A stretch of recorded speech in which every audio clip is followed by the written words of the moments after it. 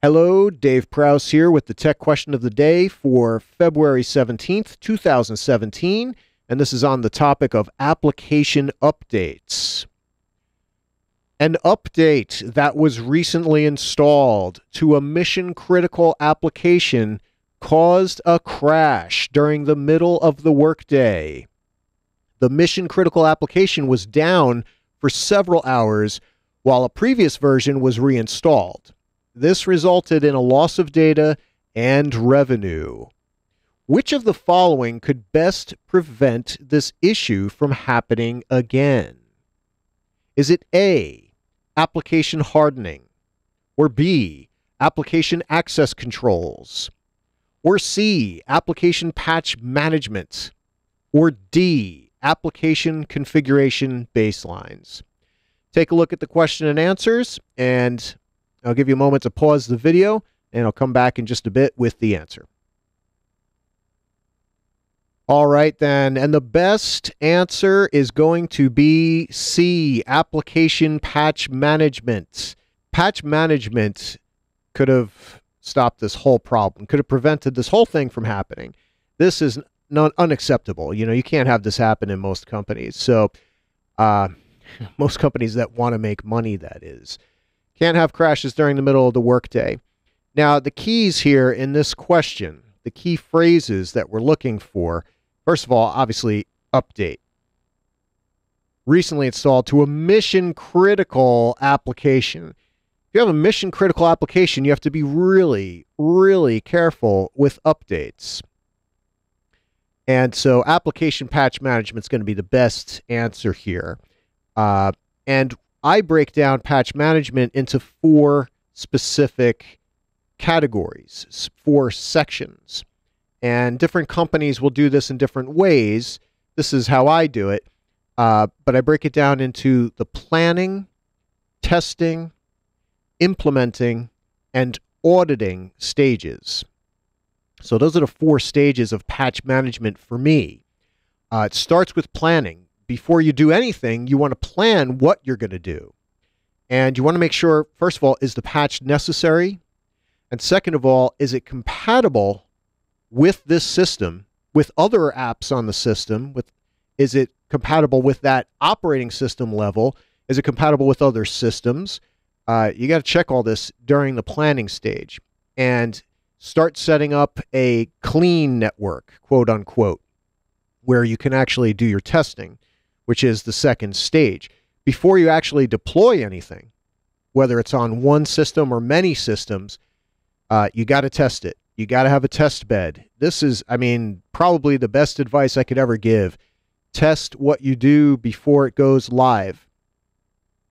So, you know, you should have systems that are reserved for testing only. And quite often, virtual machines are not enough. You need physical systems to actually test this stuff properly. It's asking a lot, but uh, you really don't want to get caught, uh, you know, with a problem like this because it could mean your job. So test as much as possible before deployment. Then the third stage is implementation. If the testing is successful, then the patch should then be deployed to the system, the mission critical system, or you know, you might be deploying it in an automated fashion to many systems. If you find when you start the implementation process that there's an issue or something you forgot, then stop immediately and go back to the test bed. Go back to the drawing board and test it and make sure it all works. Then go back to implementation.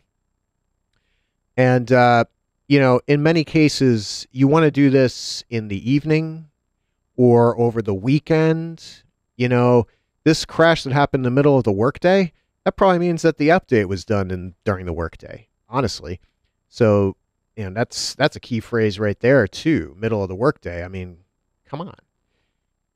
Chances are, you know, if it's going to crash, it's going to crash when you do the update or right in the beginning of the workday when the server starts being used or the whatever computer this is. So implementation, and when you do implement, again, make sure you do it evenings or weekends, and you know, consider using uh, software that can automatically deploy updates in the correct manner. And of course, if you do that, you know, have that in the testing phase as well. And I'm talking about uh, things like SCCM by Microsoft. Uh, and finally, the fourth stage, auditing. When the implementation is complete, you need to check the system. You need to audit it. You need to check the logs. You need to see what's going on. Uh, get some baselines going. Check the network data. Check the CPU.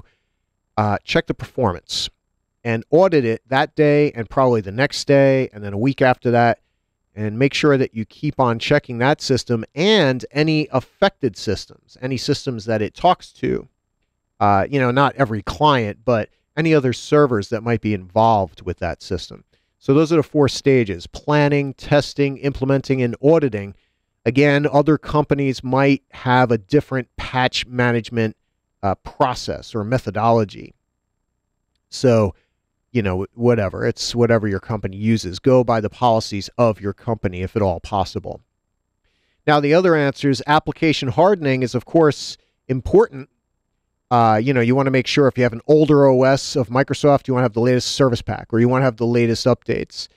But whatever hardening you do, it has to apply to your patch management method.